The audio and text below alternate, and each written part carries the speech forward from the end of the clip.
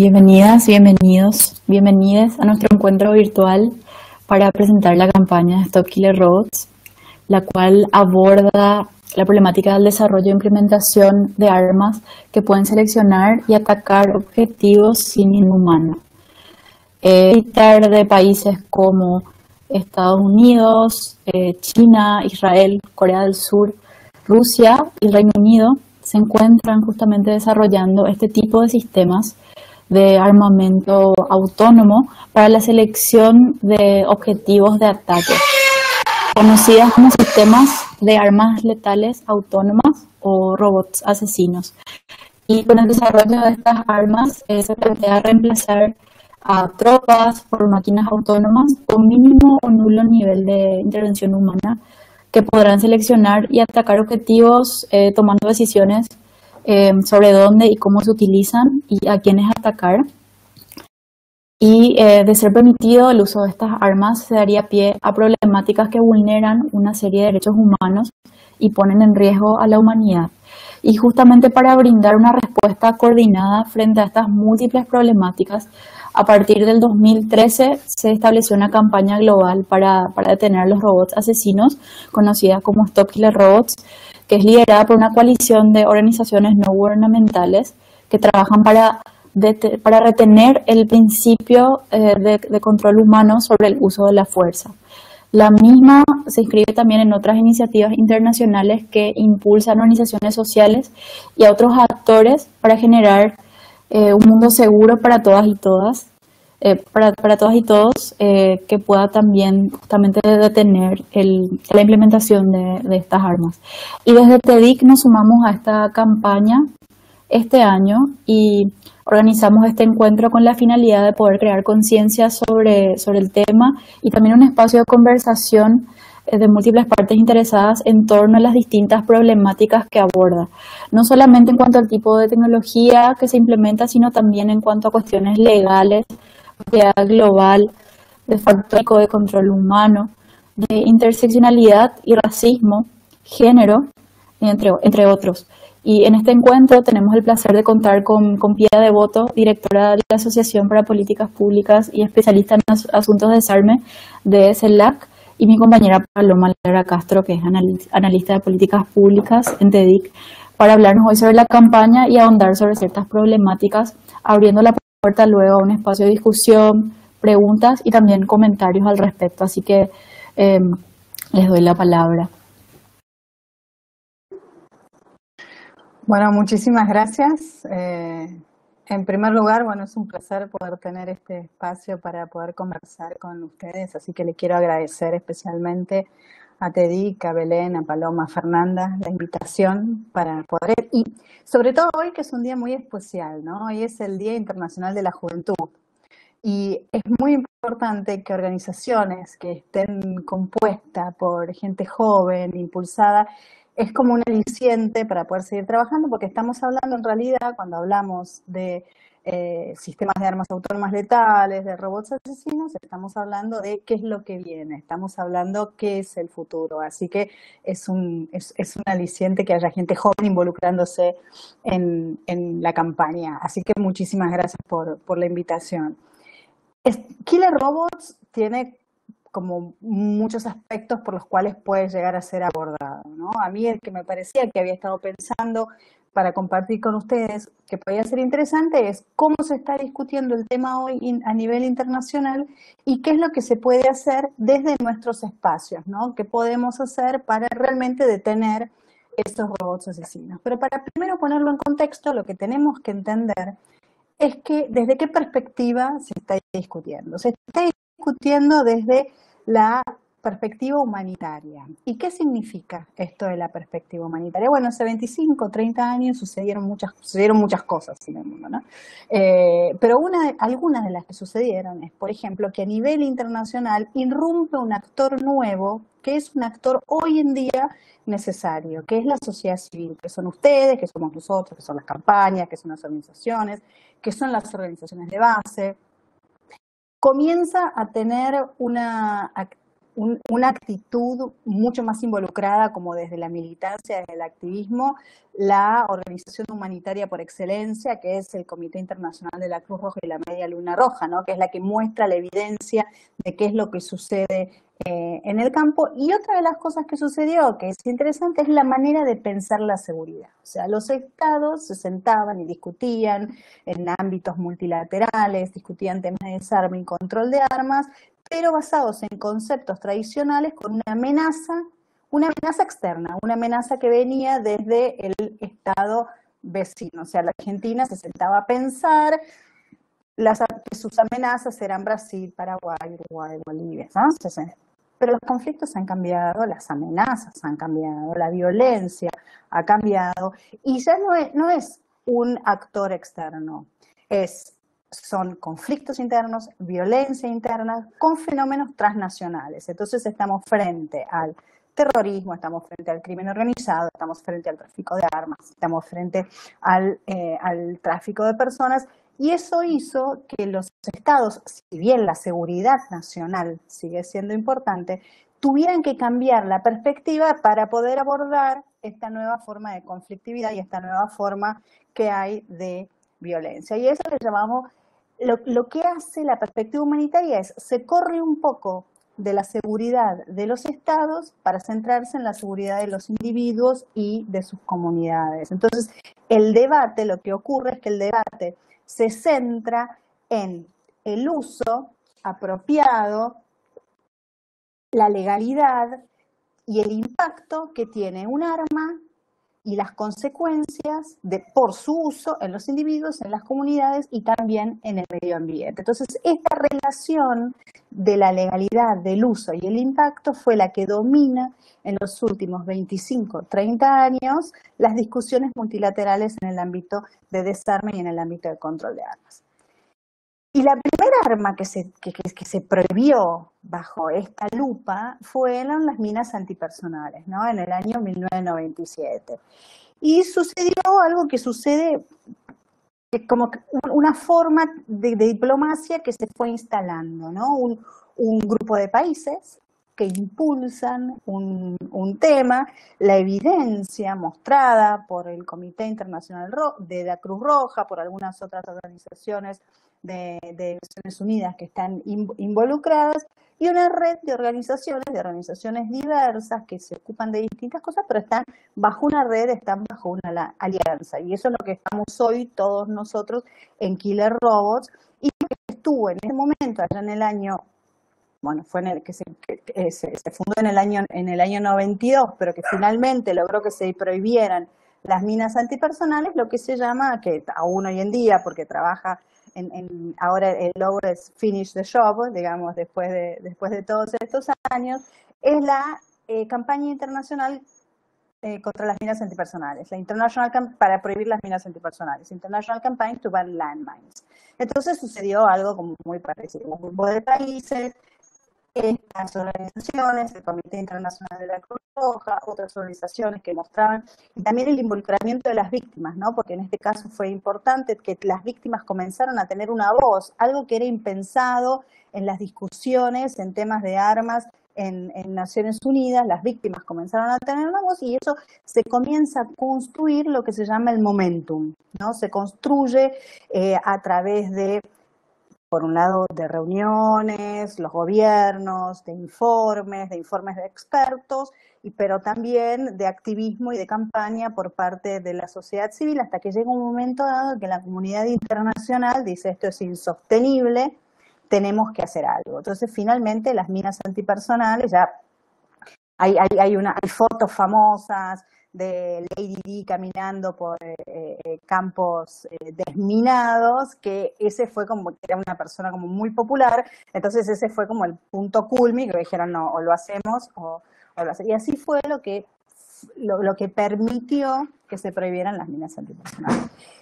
Y esquemas similares, y, y además la ICBL en el 97 ganó el Premio Nobel de la Paz, eh, tanto la, red de organizaciones como su, coordinadora, que es Jody Williams. y eso, y, esa fue, si bien esto sucedió fuera de Naciones Unidas, pero no importa, porque es el foro, digamos, no importa el foro, sino lo que había sucedido en, este caso, también permitió que se prohibieran las municiones del racimo, permitió que el, eh, se, se, se, pudiera negociar, si bien no es de prohibición, el Tratado de Comercio de Armas dentro de Naciones Unidas, se negoció bajo esta perspectiva, se prohibieran las armas nucleares, algo impensable también en el año 2017, que también ICANN, que era la que reunía a todas estas organizaciones, las eh, organizaciones que trabajaban en desarme nuclear desde los años 50 hasta grupos de jóvenes, eh, ganó el Premio Nobel de la Paz en, 2017 y es bajo esa perspectiva que hoy es que estamos trabajando y que se trabaja con, con ese perfil en eh, la campaña Stop Killer. Entonces, si nosotros eh, veíamos antes cómo eran los conflictos, ¿no? Y vemos cómo está el mundo hoy, y nos damos cuenta que los conflictos no tienen intenciones de replegarse, por lo menos en el corto o, mediano plazo, que van a seguir existiendo, es, importante saber qué es lo que se va a ver en esos conflictos, qué es lo que va a suceder en esos conflictos, qué es lo que va a suceder en el mundo. Si bien los conflictos, como decíamos, son internos, tienen carácter internacional, porque hay los, los que vos nombrabas, Belén, eh, son potencias que están involucradas por ahí en conflictos que no están en sus propios países. Si tomamos, por ejemplo, el caso de Siria, en Siria tenemos a Rusia, a Estados Unidos, a Irán, a Israel, a Turquía. Tenemos todos esos actores internacionales de un lado u otro o apoyando a distintos actores, es re complejo, ¿no?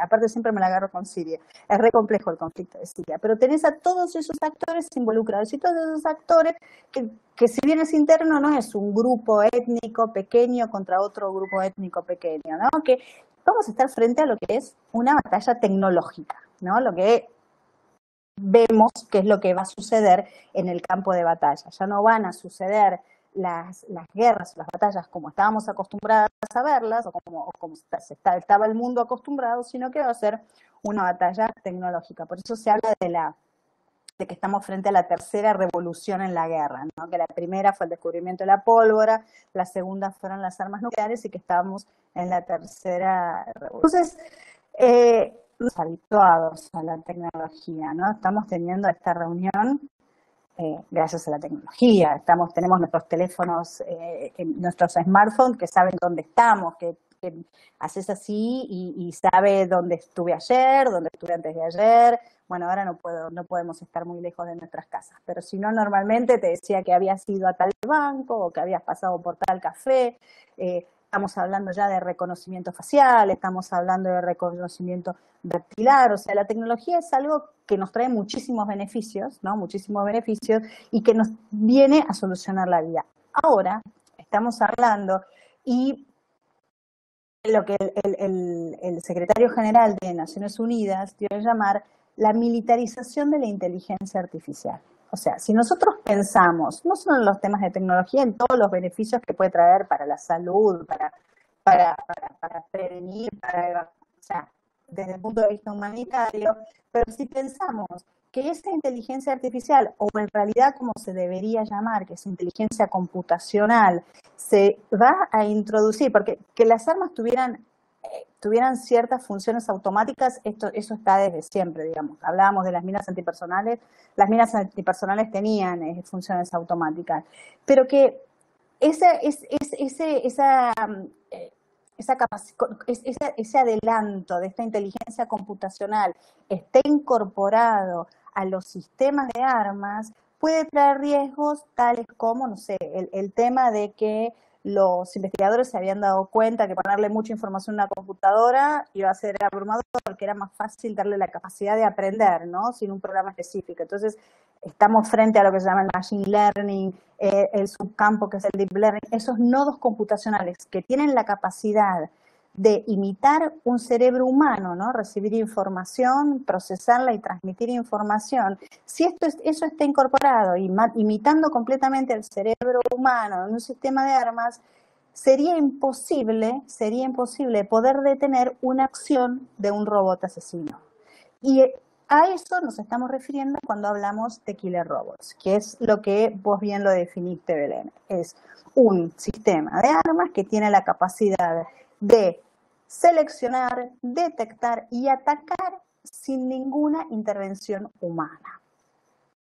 ¿Esos sistemas de armas hoy existen? No, todavía no existen, pero hay muchos desarrollos, sobre todo hay desarrollos de tipo defensivo. Y estos desarrollos de tipo defensivo son muchos de los cuales nosotros los vemos y los vemos en las noticias o los leemos en los diarios, que un dron mató al iraní y por eso Irán le inició a Sulaimán, eh, son eh, los famosos vehículos no, no, no, tripulados, eh, hay desarrollos algunos que son muy sofisticados, Israel tiene desarrollos muy sofisticados, tiene un sistema que se llama el ARPI, que es lo que detecta detecta y destruye radares enemigos. Después tiene también Israel uno que se llama Trofin, que se refiere em, a misiles enemigos que se incorporan eh, a tanques. Hay uno que tiene, que es un desarrollo de Corea del Sur que se llama Super Aegis. Yo les recomiendo que lo busquen en YouTube al Super Aegis 2 porque es impresionante. Es como una torrecita, es una torrecita blanca que se le puede incorporar cualquier tipo de arma, ¿no? Y cuando fue presentado en una feria, porque estas, las armas son presentadas en ferias de armas para ser vendidas, porque también para eso las producen, eh, fue presentada como el soldado que nunca duerme. Se le incorporan armas, tiene, tiene cámaras, tiene visión nocturna, eh, eh, láser, puede identificar y disparar a una distancia de, de 3 kilómetros, tiene algunas funciones completamente independientes, otras no, pero por ahora, digamos, es operada desde una sala.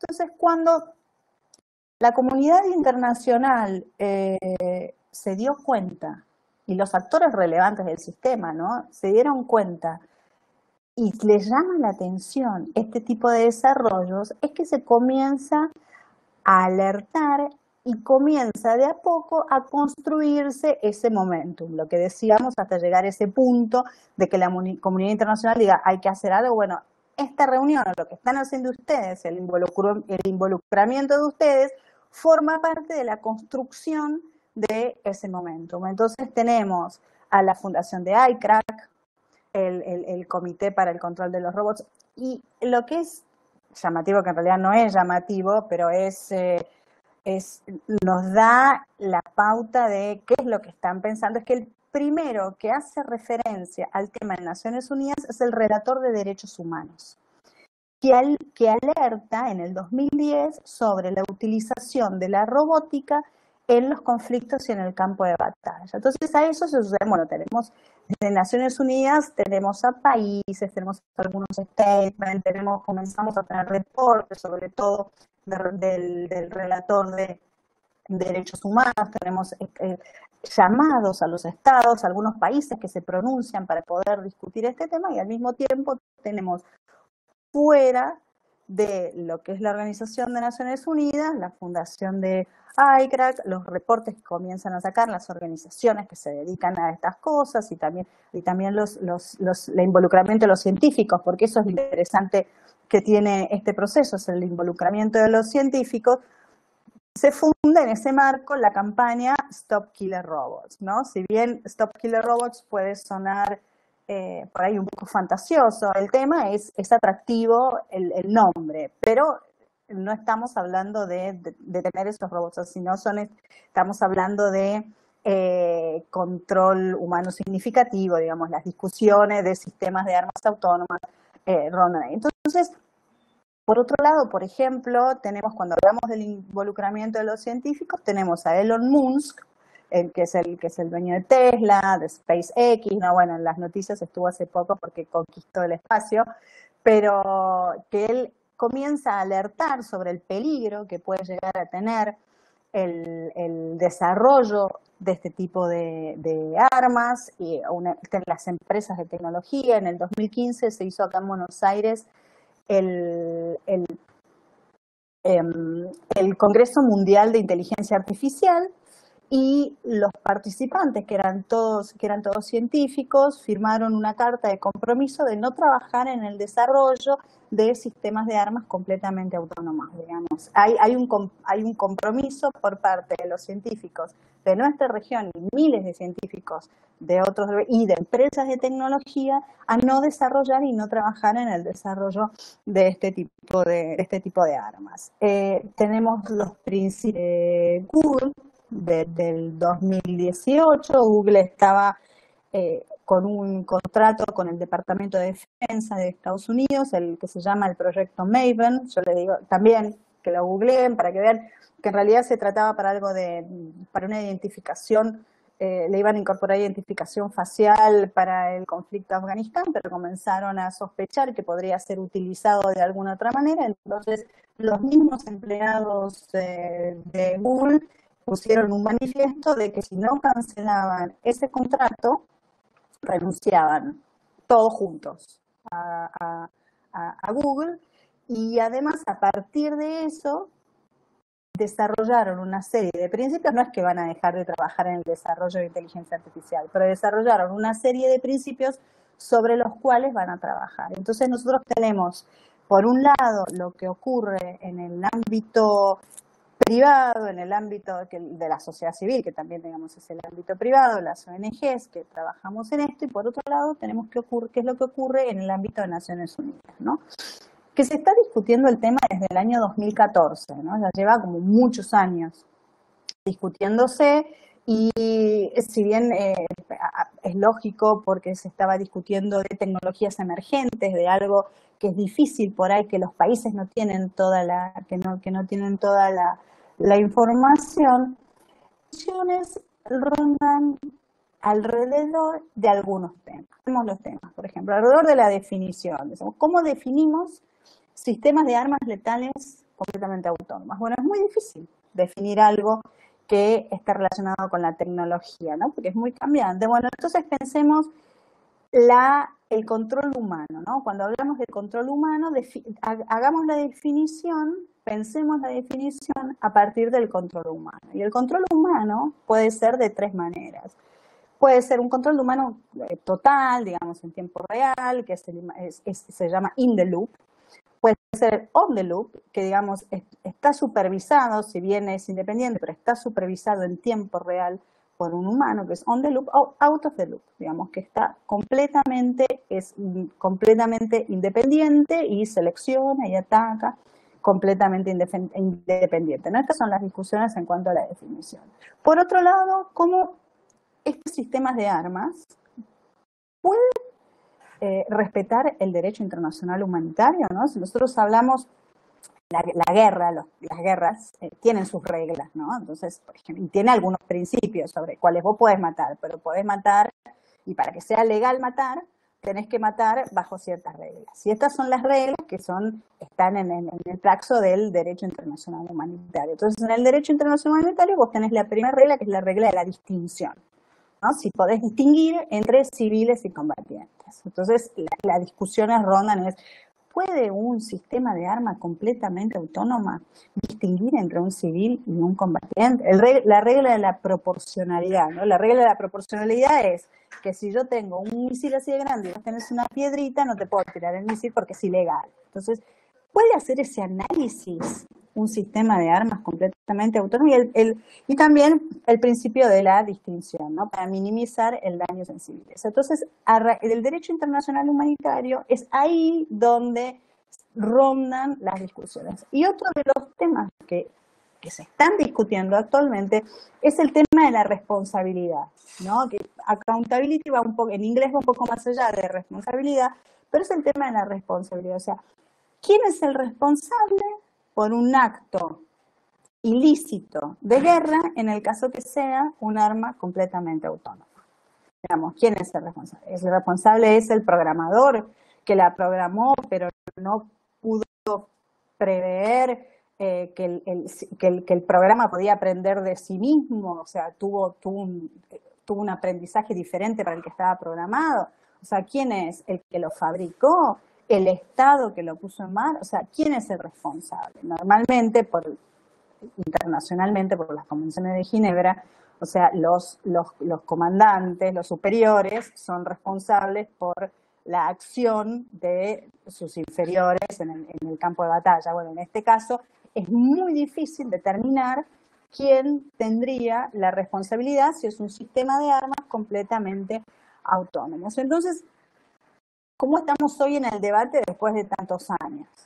Hay como, eh, hay tres grupos, ¿no? Tenemos un grupo que es en realidad en los que están los países de América Latina, ¿no? los países como más progresistas que quieren lo que incluso lo que estamos impulsando nosotros desde la sociedad civil, una prohibición preventiva, ¿no? que estas armas completamente autónomas sean, sean prohibidas preventivamente. Esto puede suceder ya, hay un antecedente porque se está discutiendo en algo que se llama la Convención sobre ciertas armas convencionales, que se llama la CCW, y se organizan protocolos, y ya hay un protocolo de prohibición preventiva, que es el protocolo 4 de la AYC, bueno, no importa, pero digamos, es posible una prohibición preventiva, después hay un grupo de países que dicen, no, no hace falta que los discutamos, no hace falta hacer nada porque ya el derecho internacional humanitario, si lo implementamos, el que, que, existe, es suficiente para atender a los riesgos que pueden conllevar este problema y después tenemos otro grupo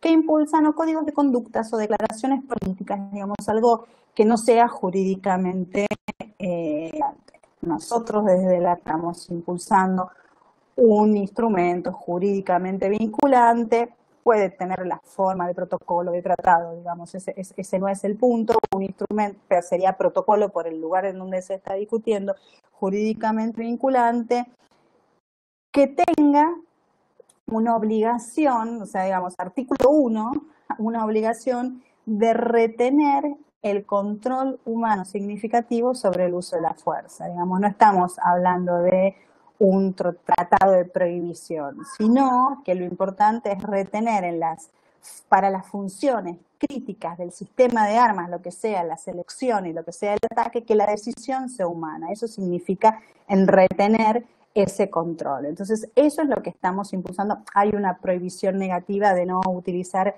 eh, algunos sistemas que utilizan sensores o por discriminación o por edad, pero más allá, lo más, lo más importante y otras, y otras em, prohibiciones positivas, pero más allá de eso, lo que se está impulsando es eso, es el retener el control humano sobre el uso de la fuerza. Y acá volvemos a lo que dijiste cuando abriste, Belén, qué es lo que estamos impulsando eh, nosotros desde la sociedad. Hoy la campaña tiene, no sé, cerca, no, no sé, 170, 180 organizaciones en, en 65 países. En el caso de nuestra región está un poco dispersa, si bien están todos de acuerdo, hay distintos matices, el tema de la, la verdad, el tema de la pandemia no ayudó a que se puedan sentar a discutir, a que los, que los países puedan realmente conversar para poder aunar sus, sus posiciones, aunque sabemos cuáles son, eh, cuáles son sus posiciones, las reuniones fueron canceladas,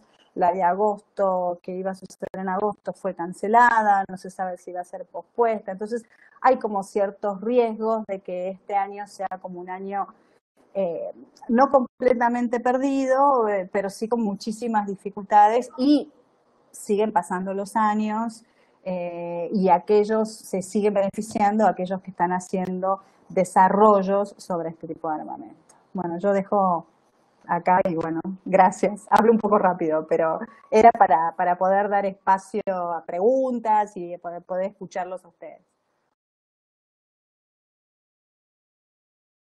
Muchas gracias, Pía. De hecho, me, me parece súper que, que cubriste todas las distintas problemáticas que aborda la campaña eh, concuerdo contigo en que es una campaña bastante integral, por eso también eh, invita a personas de distintos sectores a que se puedan sumar, no es una campaña exclusiva por ese sentido, entonces agarra el interés de un montón de distintas colectivas, organizaciones, em, y es algo que desde TEDIC también nos atrajo bastante porque justamente em, el abordaje de cuestiones legales, también el tema de inteligencia artificial y género son, son ejes eh, de trabajo dentro de la organización y justamente mi compañera Paloma va a estar hablando un poco de, la cuestión legal y también la parte de género.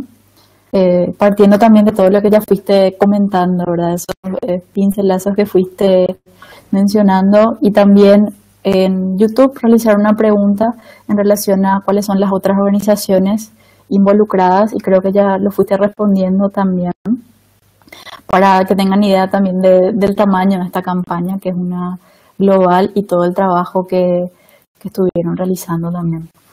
Entonces ya le puedo pasar la palabra a mi compañera Paloma. Gracias Belén, gracias Pía por esa tan completa exposición. Realmente muy interesante todo lo que compartías y creo que es un tema que nos compete a todos, entonces me parece súper importante que estemos hablando sobre esto en este marco. Bueno, como decía Belén, yo me voy a enfocar más en los aspectos legales y de género que implica esta cuestión que estamos tratando de la implementación de tecnología en armas. Entonces, eh, me gustaría también iniciar como diciendo que las armas totalmente autónomas amenazan con violar el derecho internacional humanitario, tanto como el derecho internacional de los derechos humanos, y crearían una brecha de responsabilidad por actos ilícitos, como ya mencionaba Pía. Entonces, en ese sentido, el derecho internacional humanitario es conocido como, un, eh, como el derecho, o sea, como las leyes de la guerra, ¿verdad? Entonces, sería este derecho, como ya lo mencionaba Pía, quien regiría el uso de estas armas totalmente autónomas en el campo de batalla. Entonces, dado que las armas funcionarían sin un control humano significativo, se enfrentarían a dificultades especiales para cumplir con dos reglas fundamentales del derecho internacional humanitario. Entonces, en primer lugar, el derecho internacional constitucionario y el artículo 48 del protocolo adicional del Convenio de Ginebra obligan a las partes en conflicto a distinguir entre civiles y soldados y entre bienes de carácter civil, que serían, por ejemplo, casas o escuelas, y objetivos militares. Entonces, las armas que no pueden hacer tales distinciones son consideradas indiscriminadas y, por tanto, ilegales. Los robots asesinos se encontrarían dentro de estos obstáculos importantes para poder cumplir con las reglas de distinción. Entonces, la diferenciación, por ejemplo, entre soldados y civiles, particularmente en una era actual en que los combatientes muchas veces se mezclan con la población local, depende mucho más que reconocer un uniforme. También depende, por ejemplo, de la comprensión de las intenciones de una persona a través de pistas como el tono de voz o las expresiones faciales o el lenguaje corporal. Entonces los seres humanos están mejor equipados para comprender estas matices que las máquinas. En segundo lugar, el derecho internacional constitucional y el artículo 51 del protocolo adicional también requieren que las partes beligerantes sopesen lo que es la proporcionalidad. Entonces esta regla prohíbe que los ataques en los que hay un daño esperado a civiles y bienes de carácter civil es excesivo en relación con la ventaja militar prevista eh, previo al inicio del, del, ataque. Entonces, la proporcionalidad vemos que no es una ecuación matemática, tiene muchísimo que ver o todo que ver con el contexto. Y la prueba fundamentalmente recae en si es que un, si es que un comandante militar razonable habría considerado legítimo lanzar el ataque nos vemos que las, armas totalmente autónomas no pueden reproducir un juicio humano necesario para evaluar la proporcionalidad de un ataque específico. ¿Por qué? Porque los programadores no pueden dar cuenta de antemano de la infinidad de escenarios que pueden surgir en estas circunstancias donde son implementadas las armas autónomas, que pueden ser a su, vez cambiantes. En cambio, a diferencia de los, los seres humanos, por ejemplo, estas máquinas no pueden aplicar la razón y la experiencia humana para equilibrar los factores relevantes de la prueba subjetiva. En este caso, por ejemplo, si vemos incluso la aplicación de lo que es eh, la inteligencia artificial o los, mecanismos automatizados dentro de cuestiones como, por ejemplo, eh, regulación de contenido en redes sociales, vemos que incluso para identificar si es que una algo puesto en redes sociales va en contra de una política de contenido establecida previamente, se necesita un contexto para determinar, o sea, incluso en esos contextos mucho más nimios, solamente en consideración con las cuestiones que estamos hablando, vemos que hay, una, hay un gran problema en cuanto a cuando las máquinas no pueden discernir cuando tienen que ver con cuestiones de contexto. Incluso en esas situaciones, los humanos tienen que tomar parte para decir, ok, esto violenta o no las reglas previamente establecidas. O sea, que imagínense en un contexto donde estamos hablando de vidas, de integridad física, de familias, de modos de vida, de dignidad, etcétera, estamos hablando de cuestiones beligerantes y eh, armas en ese contexto. Por otro lado, también otra cuestión que tienen que considerar los estados que están desarrollando o desarrollarán estas nuevas tecnologías es lo que es la Martens Clause o la llamada cláusula Martens, que es una disposición del derecho internacional humanitario que lo que hace es vincular el derecho y la ética. Entonces, la cláusula Martins, que está, Martins, perdón, que está eh, articulada en varios lugares, eh, sobre todo también dentro del protocolo adicional, es una disposición que está apuntada a llenar ciertas lagunas. Entonces, lo que hace es declarar que en ausencia de un tratado específico sobre un tema, las personas todavía van a estar sí o sí protegidas por lo que es la costumbre, los principios de humanidad y los dictados de la conciencia pública. Entonces lo que hace esta cláusula básicamente es crear un estándar moral contra el cual juzgar estas armas completamente autónomas. Las armas completamente autónomas presentan varias preocupaciones bajo los principios de humanidad. Entonces, los seres humanos están motivados a tratarse unos a otros humanamente porque pueden sentir compasión y empatía, porque son humanos. Entonces se pueden relacionar frente a otras personas humanas de la misma manera que sentirían ciertas cuestiones personalmente en el cuerpo, sentimental o emocionalmente, o, por relación con otras personas. En cambio, en caso de las armas completamente autónomas, carecen de esta capacidad emocional que subyace al trato humano. Entonces, los principios de humanidad también exigen el respeto a la dignidad humana. Como estas máquinas inanimadas, verdaderamente el valor de una vida y el significado de su pérdida no están dentro de su capacidad de, comprensión ni de empatía de lo que significaría perder una vida o lastimar una vida o poner en riesgo una vida. Bueno, entonces, eh, un poco pasando lo que sería desde el ámbito de del derecho internacional de los derechos humanos, también tenemos que tener ciertas cuestiones presentes de lo que este derecho eh, implica o, incluso obliga a los estados a respetar y a poner en sus parámetros ante cada acción que van a implementar, sea o no en el campo de batalla. Entonces, las armas, lo que hay que entender también que las armas totalmente autónomas tienen un potencial de violentar derechos humanos fundamentales. Se debe partir de esa base, tienen un enorme potencial de hacerlo. Entonces, primeramente, bajo el artículo 6 del Pacto Internacional de Derechos Civiles y Políticos, todas las personas tienen el derecho fundamental a la vida, lo que significa que no pueden ser privadas arbitrariamente de sus vidas. Como decía Pia, también matar solamente puede ser considerado lícito cuando estás protegiendo una vida humana o estás dentro del, del ámbito de protección legal, digamos, cuando es un último recurso y cuando se aplica de manera proporcional a la amenaza. Entonces, la prueba es específica del contexto. Y los robots asesinos no tendrían las cualidades humanas, en particular, como decía, la empatía y el juicio necesario para tomar tal determinación en situaciones imprevistas. En segundo lugar, las víctimas de abusos contra los derechos humanos tienen derecho a un recurso, siempre. Sin embargo, como, como estaba también eh, explicando Pía también, no está, no está claro quién va a ser considerado responsable cuando, cuando estamos hablando de armas totalmente autónomas que violarían el derecho internacional de derechos humanos. Por ejemplo, cuando le matan arbitrariamente a una persona, a un civil que no está dentro de eh, el conflicto armado. Entonces, en tercer lugar, también el principio de la dignidad humana es base del derecho a los derechos humanos. Toda vida humana vale y merece un respeto que está reconocido internacionalmente y tanto nacionalmente luego en las legislaciones.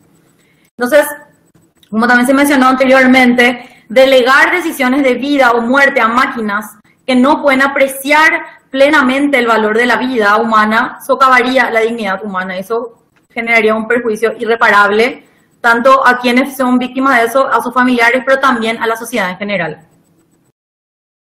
Por otra parte, tenemos el tema de accountability y responsabilidad, que creo que Pia ya lo cubrió, entonces, eh, nada, solamente destacar que las, las, las armas totalmente autónomas no solamente van a enfrentar barreras potencialmente insuperables para cumplir con el derecho internacional, sino que también van a permitir a los comandantes, operadores, programadores y fabricantes escapar de esta violación que incurrieron. Entonces, dejando un poco eso eh, como grande, un gran pantallazo también de lo que es la legalidad en este tema, me gustaría ahondar en lo que es el género y el bias o los sesgos del género en la implementación de estas tecnologías. En primer lugar, también decir que el género no se trata de cuestiones biológicas, o sea, no apela a cuestiones biológicas, sino que apela a cuestiones sociales, históricas y políticas que son construidas en, en las sociedades y que tienen distintas, distintas pequeñas diferencias en cada sociedad según lo que son según lo que se va construyendo entre las características masculinas y femeninas, pero que hay algunas, la mayoría, que se repiten en todas las sociedades porque justamente son históricas, y asimismo como políticas.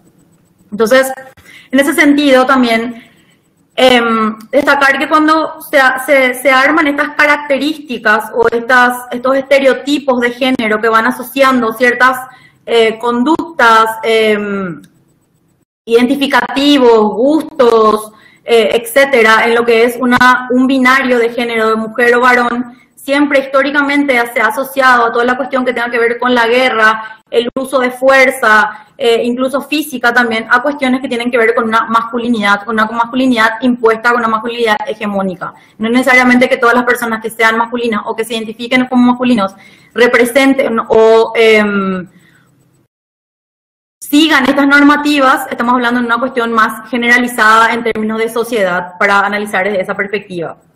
Entonces, estas normas sociales pueden afectar y afectan, de hecho, nuestra forma de pensar sobre las armas, la guerra y la violencia. Entonces, así hemos visto que a lo largo de la historia, las armas simbolizan también poder. Entonces, la asociación de las armas con el poder proviene de una comprensión muy particular y muy dominante de la masculinidad. Esto no quiere decir que todas las personas estén de acuerdo con esto, como decía anteriormente, pero sino que se considera ampliamente la norma o estándar de la masculinidad. Una masculinidad en las ideas que la fuerza o el coraje y la protección se equiparan con la violencia, están como sinónimos. Son vistas, incluso son enseñadas en las escuelas de esta manera, son vistas en la guerra de esta manera, en términos históricos y en términos presentes también, no es algo que escapa al, al presente tampoco. Entonces, es una masculinidad en que la capacidad y la voluntad de usar armas, de participar en combate y de matar a otros seres humanos se considera esencial para ser un hombre de verdad o para tener ciertas características de ser masculino o no, o en su defecto no masculino. Entonces, lo que vemos también es que este tipo de masculinidad nos perjudica a todos. Requiere también de una opresión de quienes son considerados más débiles sobre esta base de las normas de género. Esto, por ejemplo, resulta en lo que vemos como violencia doméstica, resulta en violencia de género específicamente contra la mujer y grupos disidentes, resulta también en violencia contra las personas que no, que no se rigen por estas normas de binario tampoco, como personas queer, eh, y también incluso resulta en violencia hombres contra hombres.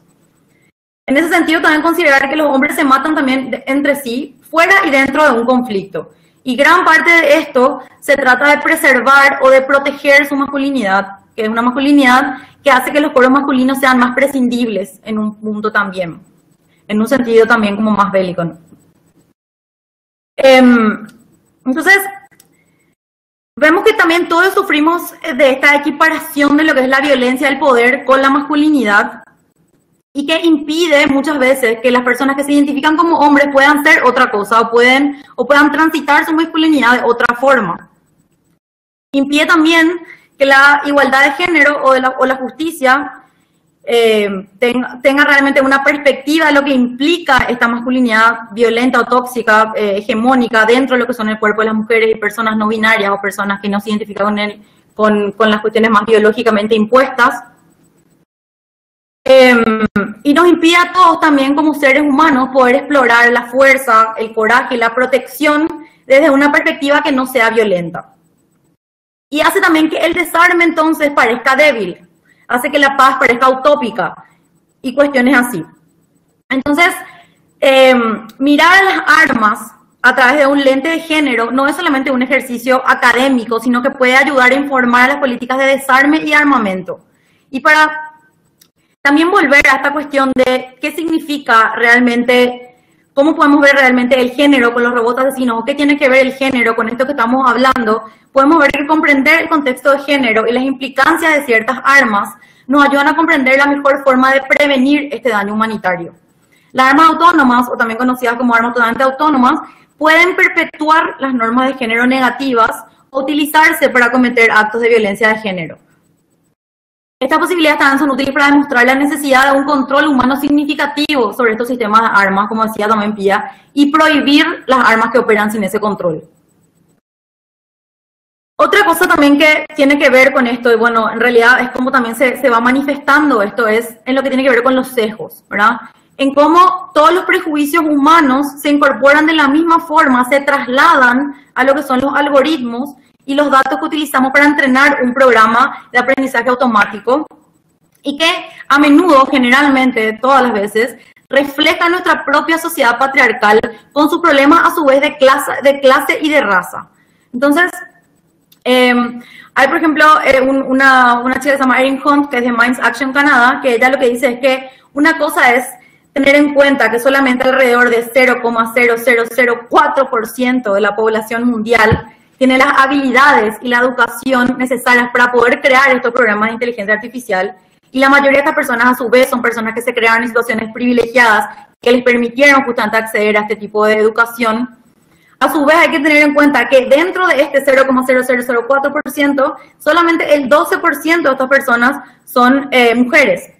Esto también tiene que ver con dos cuestiones. Por un lado, eh, lo que mencionaba hace rato de lo que es considerado masculino, lo que es considerado femenino, que a su vez se traslada también a las posibilidades de carrera, a las posibilidades de estudio, y por otro lado también afectan como ciertas mujeres que sí de alguna manera pueden acceder a estos espacios, no se pueden quedar dentro de estos espacios o es muy dificultoso quedarse dentro de estos espacios por la sostenida eh, violencia de género que sufren dentro de esos espacios por no pertenecer a lo que es considerado, eh, o sea, por no estar eh, respondiendo a parámetros que son considerados dentro de las carreras masculinas o femeninas. Entonces, ahí vemos estas dos, cómo estas dos cuestiones se entrecruzan y, se, y, de, y lo que hacen es reinforce o, fortalecer cuestiones de género, inequidad de género preexistentes a estas tecnologías pero a su vez al implementarlas vuelven a incidir directamente en imposibilitar que la brecha de género se disminuya y de hecho genera más violencia de género. Entonces, en este contexto, las armas autónomas, como herramientas de violencia y de guerra, probablemente van a tener muchas características específicas que pueden reforzar y socavar estas, eh, estas normas hegemónicas de género. Em, a su vez, los sesgos eh, en términos de raza, em, nivel socioeconómico, capacidad, orientación sexual, se pueden programar tanto en las máquinas, entonces también las armas autónomas. O si vemos que eso ya se está implementando en cuestiones como, por ejemplo, inteligencia artificial aplicada a em, situaciones de juicios donde una, una una, una, una, máquina tiene la potestad de determinar quién persona puede ser reincidente o no en un sistema penal, vemos que a su vez esa misma lógica se aplica a lo que son estas armas completamente autónomas. Entonces no estamos lejos de eso ni tampoco están disociadas, como muchas veces el discurso lo quiere presentar. Eh, si, si, observamos en este sentido el sesgo en los algoritmos de programación, es, como decía, muy fácil preocuparse.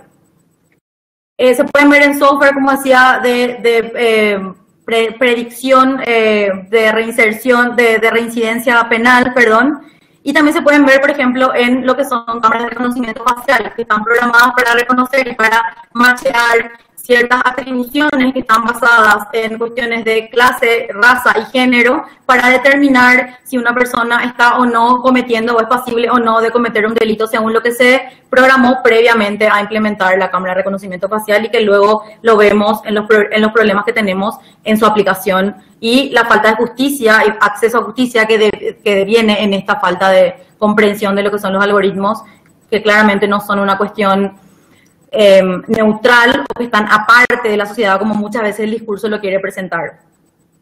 Dentro de esto también me gustaría solamente mencionar una cosa más que yo considero específicamente bastante problemática que tiene que ver también con este discurso de decir, bueno, al aplicar máquinas o al aplicar en, ese sentido eh, armas eh, completamente autónomas, estamos liberándonos de ciertas cuestiones que ocurren en la guerra, como son, por ejemplo, las violaciones, que son utilizadas como un método de guerra, como un método de agresión y de terror que se utiliza específicamente contra las mujeres en contextos de guerra, y que de hecho no solamente ocurre por eh, iniciativa propia de los, de los, de, los, los oficiales, no digo que no ocurra también, pero también es como que realmente deviene de una lógica, que es la cultura de la violación, que es reproducida específicamente dentro de estos ambientes. Entonces, muchas veces lo que se dice dentro de este discurso, decir, bueno, las máquinas son aparte, las máquinas son neutrales, las máquinas eh, son mejores que los seres humanos y por ende no van a cometer los mismos errores que cometen los seres humanos. Vemos, por ejemplo, que en el término de en términos de violación y máquinas, esto no ocurre así. O sea, las máquinas pueden perfectamente ser programadas para violar. Eso es así, eso ya ha sido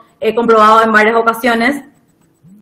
Em, y resulta, bueno, realmente terrible porque a su vez, como estábamos en el tema de la responsabilidad, vemos que el daño sería siendo igual o peor y por otra parte no existiría una responsabilidad donde las máquinas o los, comandantes de esas máquinas puedan someterse a una justicia internacional o nacional. Entonces, vemos que estas violencias que ya ocurren históricamente van a seguir perpetuándose, pero aún peor porque no existiría una responsabilidad y bajo además un discurso de que no sería lo mismo y que no están pasibles de cometer estos mismos errores que vemos en oficiales de combate. ¿no? Entonces, como para ir cerrando nomás también es, eh, estos entendimientos que estamos hablando tienen que tener implicancias significativas para nuestro pensamiento y enfoque sobre el desarrollo de estas armas autónomas. Eh, los activistas solemos pensar en cómo este tipo de análisis y argumentación puede ayudar a los trabajadores tecnológicos, a los expertos en políticas, a ver, a ver la necesidad de un control humano significativo sobre, estas, sobre estos sistemas de armas. En un contexto en que las armas se tratan como herramientas de poder, de violencia y de subordinación sobre otros, aumentar, aumentar la lejanía y la abstracción de esta violencia no es, no es la respuesta es realmente sumamente necesario e imperativo abordar lo que es esta violencia del conflicto como una institución social más que un desafío técnico que debe ser resuelto con nuevas tecnologías de armas. Eh, hay que comprender que las dimensiones de género la violencia y la tecnología puede realmente ayudar a, a, que se, a interactuar con nuevas audiencias y contextualizar sobre todo nuestro trabajo contra las armas en un contexto más amplio de justicia de género. Con eso es todo. Creo que me excedí un poco, pero gracias por el tiempo. Muchas gracias, Pablo. De hecho, todo lo que nos comentas también es totalmente un desafío por abordarlo en tan poco tiempo, porque lo que hace la campaña también es un excelente trabajo a la hora de abordar cada problemática de una manera tan completa también, que es como para estar hablando de esto como para tener un webinar por cada problemática incluso, ¿no? O sea, un espacio por cada problemática. Entonces, eh, de igual manera, muchísimas gracias por, por tomarte también el trabajo de poder resumirlo y bajarlo a tierra para que, para que la gente también pueda, pueda dimensionar lo que implica implica esta problemática. Eh, quería yo también comentarles de que en YouTube hicieron una, en el live stream hicieron una, una pregunta si a nivel de, de, gobierno local, si existe algún esfuerzo o iniciativa a favor o en contra de esto.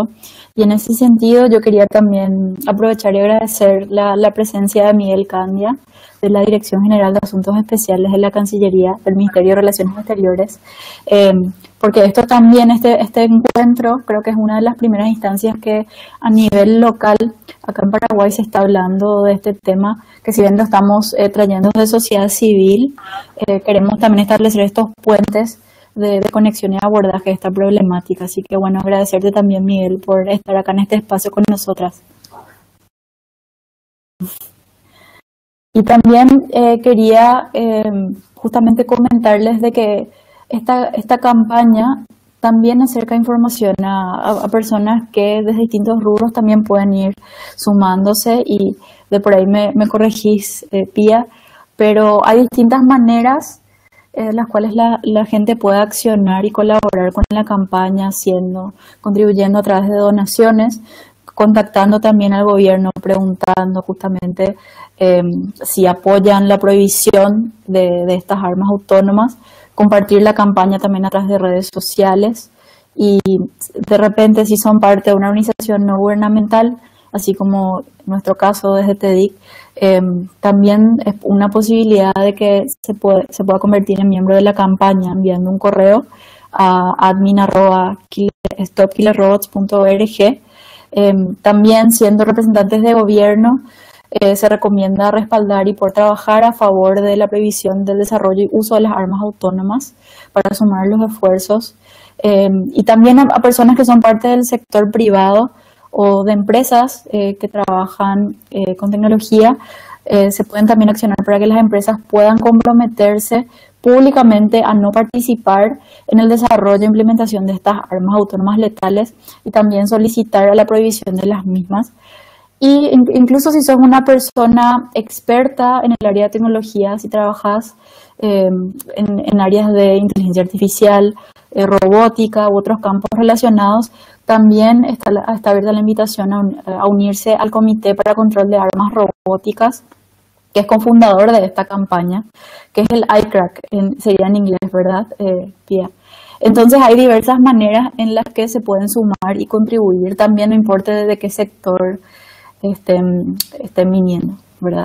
Nada más para compartirles eso también y comentarles que este espacio lo teníamos pensado también como para alrededor de una hora, quizás nos estemos quedando un poquito, un poquito cortas de tiempo, pero estamos también súper abiertas a, cualquier pregunta o comentario que, que deseen aportar a este espacio. Miguel. Muchísimas gracias, Belén. Eh, también muchísimas gracias por la, por la invitación para estar. A, a Pía y a Paloma, muchísimas gracias por sus intervenciones que fueron en extremo nutritivas. Un poquito, eh, si tengo dos minutos, quería primero eh, resaltar un par de cosas. efectivamente, en Paraguay también tenemos una, una, visión y una posición con relación a estos temas. Paraguay acompaña de una manera muy firme toda, toda instancia de desarme internacional y toda, todo, toda acción en el fortalecimiento de la regulación y de eh, acercamiento de los diferentes estados nacionales eh, para lograr controlar cualquier tipo de, de arma, no solamente las, las, armas autónomas letales, sino cualquier tipo de arma que pueda causar daño indiscriminado y o excesivamente nocivo.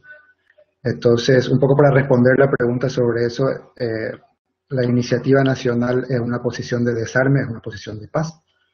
Y eh, felicitamos la, iniciativa de unirse a la campaña y a la campaña misma a través de PIA, porque están haciendo un trabajo muy importante. Eh, dos elementos que quería agregar, porque PIA y Paloma fueron muy, muy completas. Eh, uno es que estas discusiones todavía en Naciones Unidas y en otros foros es de un alcance parcial porque todavía estamos hablando de la guerra o de conflictos en aquellas naciones que pueden llevar este nivel de conflicto adelante. No vamos a estar tomando todavía eh, situaciones que puedan ocurrir en el mundo en desarrollo y que no tengan específicamente que ver con potencias globales, donde el derecho internacional humanitario eh, tiene que cumplir todavía con su, fusión, eh, con su función determinada de evitar que la guerra sea demasiado cruel. El elemento de género es sin duda uno que no, puede ser dejado de lado, razón por la cual las Naciones Unidas a través de la Agenda 2030 lo toman como una integralidad en el ODS 5 y el ODS 16 en conjunto, en este caso, para este, para esta, para este encuentro en particular, esos dos ODS son, son de altísima relevancia, el de género y el de paz eh, y instituciones fuertes. Y, otro elemento que quería agregar es, eh, eh, más allá de la responsabilidad del Estado en un conflicto internacional, también tenemos que tener en cuenta la responsabilidad del Estado en un conflicto interno, es decir, eh, en un elemento bélico intraterritorial o contra su propia población, dependiendo de la naturaleza del Estado. hay una comunidad internacional con estados demasiado diversos que tienen eh, en su definición todavía situaciones que no pueden ser controladas, como la definición del terrorismo internacional. No existe una definición internacionalmente aceptada, sí existen varias definiciones y aproximaciones. Y además quisiera sacar un poco eh, el asunto del, derecho internacional humanitario porque tenemos que tener en cuenta que si bien las armas utilizadas por los estados en, en un conflicto beligerante eh, son para ese sentido, tenemos que tener en cuenta que tienen elementos mucho más, eh, más cercanos también.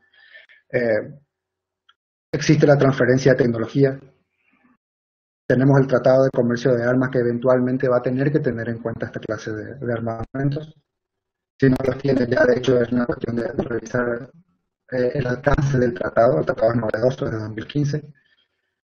Y eh, tomando un poco lo que decía Pia de las armas nucleares y otros antecedentes, eh, efectivamente desde 2010 en adelante, tanto, tanto en el Consejo de Derechos Humanos como en instancias como la, eh, la Internacional de Telecomunicaciones, se viene conversando sobre la las capacidades y el desarrollo de las armas o la militarización de la tecnología. Y hoy en día tenemos todos los días vienen y que van a facilitar eh, de, recreación de las armas. Es decir, hace 10 años no hablábamos de la velocidad del 5G, hace 10 años no hablábamos de una computadora cuántica que hoy en día existe, si bien no comercialmente aún ya está funcional. Eh, también tenemos que tener en cuenta eh, la, mejora en las capacidades de navegación. Y un elemento fundamental que, que sin la intención de generar eh, debate, hay que decirlo, las empresas privadas hoy en día tienen una capacidad enorme, entre ellas eh, la, del empresario mencionado por Pia, eh, pero no solamente, y autoridades centrales nacionales están dando permisos o certificaciones para llevar adelante planes que tienen alcance global.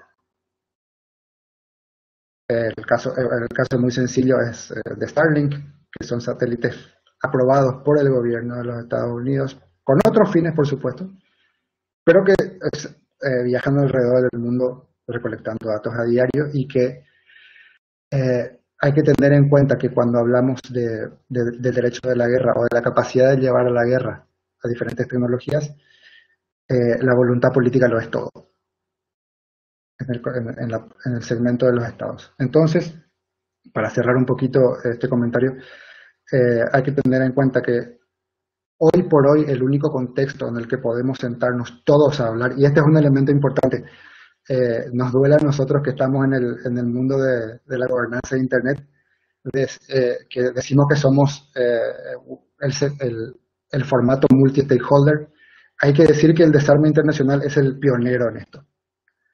El desarme internacional fue el primero en, llevar adelante eh, la voz de la sociedad civil hace ya muchos años, cuando Internet todavía era eh, un, elemento más de, seguridad de, algunos países más desarrollados.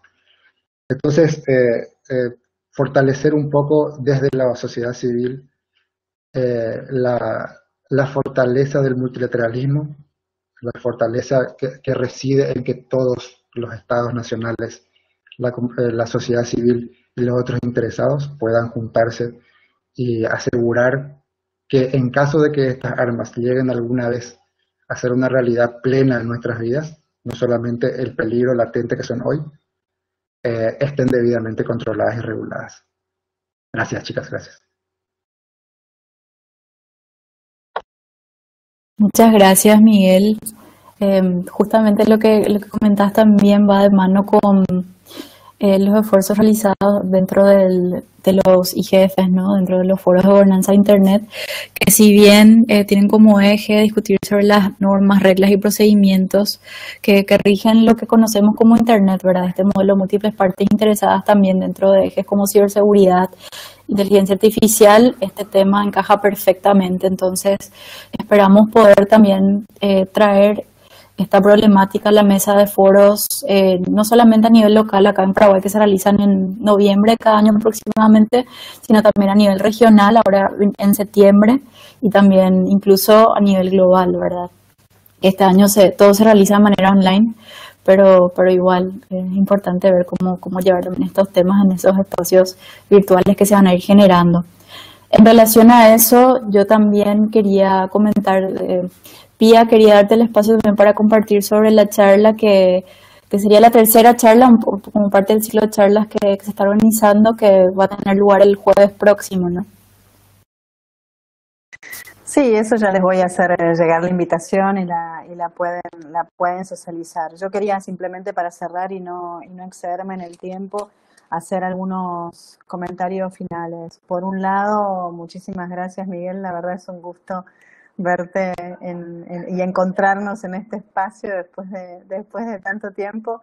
Eh, decir que en realidad los gobiernos de la región, hay algunos que están preparados para liderar un proceso y que Paraguay, por su tradición en los procesos y en desarme, tiene que ser parte de ese grupo ha pasado que con esto de la pandemia, como yo decía, están un, están un poco, hay un poco de desorganización porque es muy difícil que los delegados se puedan reunir a discutir, a discutir posicionamientos. Pero nosotros tenemos, tenemos en general, porque somos nosotros trabajando en conjunto con nuestros gobiernos, en conjunto con las organizaciones, eh, con las empresas privadas, con las organizaciones de tecnología de poder lograrlo porque en el, año que viene, el 2021, es la conferencia de revisión de la CCW. Este tema, como yo decía, se discute en la CCW, que es la Convención sobre ciertas armas convencionales, que es la llamada la Convención de las Armas Inhumanas, para que tengan una idea del ámbito en el que se está discutiendo Killer Robots. Entonces, hay que prepararse para el año que viene que todos nuestros países tengan una posición común. Hoy se habla del grupo ABC, que es Austria, Brasil eh, y Chile, que son los que están impulsando, pero toda América Latina tendría que estar y todos nuestros países que tienen una tradición de paz, incluso Paraguay, como vos lo has dicho, de acompañar todos esos procesos, tienen que estar en la misma línea. Eso es lo que quería agregar y yo, yo sé que, y estoy segura que durante de acá a que sea la conferencia de revisión de la CCW, la región se va a poner al hombro y va a ser como en otros casos y en otros procesos multilaterales un ejemplo de liderazgo eh, en, en el mundo. Eso por un lado a nivel lo que es gubernamental. A lo que es a nivel de cómo pueden participar las organizaciones, a mí me parece que eh, ustedes como TEDIC, desde su espacio y los que están participando, pueden trabajar en conjunto, conformar, no sé si una red, porque ya digamos tenemos muchas redes, pero conformar un grupo donde el cual puedan discutir y puedan trabajar y llevar adelante eh, con, con, todos y con todas los que estén participando, llevar, llevar adelante un proyecto en conjunto, más allá de, por supuesto, que cada uno individualmente pueda formar parte de la campaña y pueda hacer acciones, pero las acciones colectivas y, eh, o sea, lo que tenemos de la característica de la sociedad civil es que tenemos una sola voz, por más que las organizaciones tengamos diversas especialidades. Entonces, eh, yo los dejo para que se sienten eh, ustedes chicas y con los, con los demás que estén en, TEDICA a conversar eh, qué es lo que pueden hacer en conjunto con todos aquellos y aquellas que estén interesados en poder trabajar. Y si bien es un tema moral, si bien lo que vos dijiste, Paloma, del tema del, del, del algoritmo, y si bien el secretario general habla que es es, es, un sistema de armas son moralmente repugnantes, repugnantes y políticamente inaceptables. Lo tecnológico, lo tecnológico es lo que le va a dar la base a los gobiernos para que puedan entender, porque vos tenés a Rusia, Estados Unidos, aquellos que tienen desarrollos, que te dicen que estos sistemas tienen la capacidad de distinguir entre un civil y un combatiente. Entonces vos tenés que tener lo tecnológico cuando que te diga que los sistemas son opacos, que no tiene posibilidad de distinguir entre un civil y un combatiente. Entonces por eso es importante el componente tecnológico que esté involucrado de, esta campaña. Y sí, el tema de el tema de género, pero no solamente el tema de género, el tema de género, el tema el tema de raza, eh, el tema de los sesgos para apoyar lo que vos, lo que vos dijiste, hay, hay, una, hay una experiencia de la justicia de Estados Unidos que se incorporó un sistema basado en inteligencia artificial para dar la libertad condicional en un juzgado y como el sistema aprende de los fallos anteriores, digamos, eh, de eso se llama ¿no? el, el, el machine learning, el deep learning, de eso se trata, aprende, liberaba a hombres blancos le daba la libertad condicional a asesinos hombres blancos y no le daba la libertad condicional por ahí a un afroamericano o a un latino que había, no sé, que había pasado un semáforo en rojo. Entonces, eh, a eso se refiere cuando hablamos de qué es lo que estamos proponiendo, una obligación, un protocolo con una obligación general de, de mantener el control humano significativo y con algunas algunas prohibiciones negativas, a eso se refiere cuando decís prohibir específicamente que los sistemas de armas incluyan estas características o estos sensores que pueden, que pueden discriminar o por sexo o por religión o por identificación de género, por lo que sea. Entonces, a, e, eso nos estamos refiriendo cuando hablamos en segunda instancia de las previsiones eh, negativas. Y yo no les quiero sacar más, no le quiero sacar más tiempo y y tenemos un grupo que dice que es suficiente todo el derecho internacional humanitario que hay, todo lo que dijiste Paloma, eh, eh, Paloma la Martin Clause, el, derecho, el, el artículo 36, que todo es suficiente, y tenemos otro gran grupo que es la gran mayoría, que es lo que estamos impulsando una prohibición preventiva, que es donde están y es donde están nuestros países y esperemos que estén lo suficientemente preparados como para liderar este proceso. Nada más, gracias. Muchas gracias, Pia. Em, yo también quería aprovechar em, a tirar unas preguntas que fueron colocando en YouTube a medida de que ustedes estaban también compartiendo todo esto. Una persona pregunta si existe alguna relación entre el desarrollo de armas autónomas y la utilización de inteligencia artificial para vigilancia Personalmente yo diría que sí, que esto es como el siguiente paso a ello, ¿no? Y no es un siguiente paso muy lejano también. No sé si tendrían algo más que agregar al respecto. No, simplemente que en este momento estamos discutiendo eh, estos sistemas de armas en situaciones de conflictos o en situaciones de guerra con, eh, con los estados como dueños, ¿no? Pero un tema que es otro de los temas de discusión es el tema de la proliferación, ¿no? ¿Qué ocurre si todos estos sistemas eh, son accesibles para terroristas, para grupos armados no estatales? ¿Qué ocurre si estos sistemas se hacen accesibles y se empiezan a, a, utilizar en, tareas de, en tareas de vigilancia? De las policías, que algunas tendrán eh, sus principios correctamente, pero otras no tanto. ¿Qué ocurre si las empezamos a utilizar en nuestras casas? Y a mí me molesta el vecino que le va a poner la música muy fuerte, ¿no? Y, y hay una programación para que actúe en caso que la música esté fuerte. Entonces, sí es un tema que se puede ir trasladando y es riesgoso y es otro, es como lo próximo que deberíamos pensar, pero que no lo tenemos que perder de vista. Tiene muchísima razón la persona que hace mención a esto, que es el tema de la proliferación. Gracias, Pia. Puedo agregar un poquito ahí también, si, si me permite. Sí, sí, sí. Eh, una cosa que hay que tener en cuenta es que eh, si bien los estados en general son los usuarios principales y los clientes, los desarrolladores son privados y son empresas que eventualmente lo harán con fines de lucro y venderán también a empresas de seguridad privada. Estas empresas de seguridad privada pueden tener fines de vigilancia interna de negocios o eh, ser, ser, de naturaleza privada combatiente, como sucede en muchos países de, del mundo en desarrollo. Entonces las tecnologías van a ser utilizadas por el sector privado. Y eso tenemos que tenerlo en cuenta, la integración de los sistemas de vigilancia con los sistemas de armamentos, en nuestro mundo pareciera un, siguiente paso completamente natural.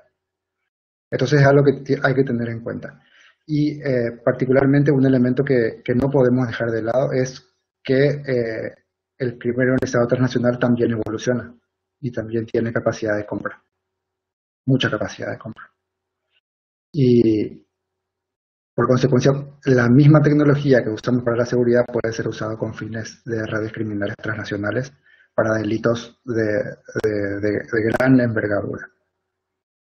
Entonces tenemos que tener en cuenta el, posible desvío, no solamente compra, sino también el robo y desvío de tecnologías y armas, que es un elemento más que, la comunidad internacional deberá tener en cuenta, así mismo como los ciberataques al segmento del armamento autónomo que no tenga eh, al, humano on the loop. ¿Sí? Eh, son, elementos que hay que tener en cuenta. La pregunta es muy, muy válida. Gracias. Muchas gracias, Miguel. Yo tengo una última pregunta que va muy de mano con lo que estabas mencionando en cuanto a las empresas privadas. La pregunta es la siguiente. Como empleado de una empresa privada, ¿Qué protección tengo al oponerme al desarrollo de este tipo de tecnologías? ¿Me apoyo en los derechos humanos solamente pues al no haber un pronunciamiento internacional establecido, se da pie a arbitrariedades y a la protección de información que puede permitir avanzar en ese tipo de tecnología a nivel privado sin ninguna regulación, lo cual es preocupante también. Entonces, será una pregunta de, una persona eh, poniéndose en una posición ¿no? de, de, empleado dentro de esta empresa que llega a desarrollar este tipo de tecnología. Las, regulaciones se pueden dar de distintas, eh, de distintas maneras. O sea, en este caso nosotros estamos discutiendo una discusión a nivel multilateral, eso después va a ser adoptado por los estados y eso después va a ser implementado a nivel nacional, pero se podría impulsar y se podría trabajar y también los y los invito a que, a que lo hagan, hacer al revés, ¿no? De abajo hacia arriba, tener algo a nivel nacional, después trabajar en el nivel subregional. A veces no es más fácil eh, tener acuerdos porque eh, tenemos como la, misma cultura la misma no sé eh, institucionalmente somos parecidos a, nivel subregional después regional y después ir después ir para arriba pero es es completamente válido si se es parte de una empresa poder eh, trabajar en el impulso y, sumarse, ¿no? En eso está la libertad de acción que tenemos, que tenemos todos. Por mi parte, lo que puedo aportar, eh, la pregunta tiene muchas, es muy interesante, tiene muchas aristas. A nivel nacional, lo primero que podría decir es que nosotros no somos productores de armas, en ningún caso. Eh, sean revólveres, pistolas, rifles, eh, eh, no lo somos, y tampoco de municiones. Por consecuencia, en nuestro caso debería ser o una importación que hoy está, que hoy está suspendida por parte de la DIMABEL, o un desvío de armas. Entonces, como, no normalmente no se daría el caso de una empresa que en nuestro país pueda desarrollar este tipo de armamento. Ahora, si tomamos el mundo en general, tenés el caso que mencionó Pia de los empleados de Google, que si bien no es armas, una tecnología relacionada con, eh, o que podría haber sido utilizada para eh, el montaje de, sistemas de armas. Y eh, depende mucho de cada país, pero si puedo darte una experiencia en el Consejo de Derechos Humanos, también hay un foro de responsabilidad empresarial en donde las empresas de cualquier sector, pero particularmente aquellas que tengan mayor pervasividad en sus acciones hacia, hacia consecuencias que sean inhumanas, eh, tienen un cierto grado de responsabilidad en sus acciones. También depende mucho de cada país en su regulación de permitir o no el tipo de investigaciones. En nuestro caso, de vuelta, estaría, estaría prohibido, salvo que la propia autoridad competente de, la ley 4036, que es la de IMABEL en este caso, eh, permita la, reciba un proyecto determinado y habilite a una entidad específica para llevar a cabo esta clase de investigaciones, cosa que no sería un secreto. todos lo sabríamos de una u otra manera, eh, y particularmente las entidades de Estado. Pero hoy por hoy, eh, por lo menos en nuestro país, a nivel laboral, el empleado eh, tiene todo a su favor para quejarse si descubre que su empresa está desarrollando este tipo de elementos. Gracias. Muchas gracias, Miguel. Em, yo creo que también con esto concluimos el espacio de preguntas por hoy este encuentro. Esperamos que este sea el primero de muchos también poder habilitar estas conversaciones en otros espacios. Y quería también, antes de cerrar, compartirles de que desde, desde DIC pudimos también, gracias al, al, apoyo que estuvimos recibiendo desde la, la campaña en sí, realizar un, un brochure ilustrativo e informativo que resume las problemáticas de la campaña para poder entregar también a la gente y que lo tengan en un formato accesible de bolsillo eh, y también va a estar disponible digitalmente. Entonces, eh, esto lo vamos a estar disponibilizando ya en estos días, si no en esta semana, en la próxima, eh, a través de nuestras plataformas y también está disponible ya de manera impresa, que es un doblable que no, soy tan ágil para mostrarlo así en mi cara y la cámara, pero si lo pueden ver bien, se despliega y luego em, acá tiene un resumen también en un formato, un póster muy bonito. Entonces, eh, aparte de tener contenido mega relevante e interesante, también es muy, es muy atractivo. Entonces, eh, estamos muy contentas con poder lanzar también esto como, como algo que aporte también a, a poder acercar esta información en un formato eh, distinto de la campaña. Entonces, eh, nuevamente agradecerles por este espacio, por este encuentro de hoy. Muchas gracias Miguel, muchas gracias Pia y Paloma también. Y quedamos ahora desde el canal de TEDIC también atentas a cualquier otra pregunta o comentario que llegue a surgir en base a este encuentro para poder luego establecer otros futuros espacios de conversación con respecto al tema. Entonces, eh, muchísimas gracias y, espero también que hayan podido eh, encontrar interesante y relevante esta, esta temática y, esta discusión. ¿no? Así que bueno, muchísimas gracias y que tengan un buen resto de la jornada también. Muchísimas gracias. Buenas tardes, buenas noches. Sí. Chao, hasta, hasta pronto. A disposición. Gracias, a todos. Gracias, gracias, chicas, por la oportunidad y por la oportunidad de ver a Pia. Sí, chao. Hasta luego. Hasta luego.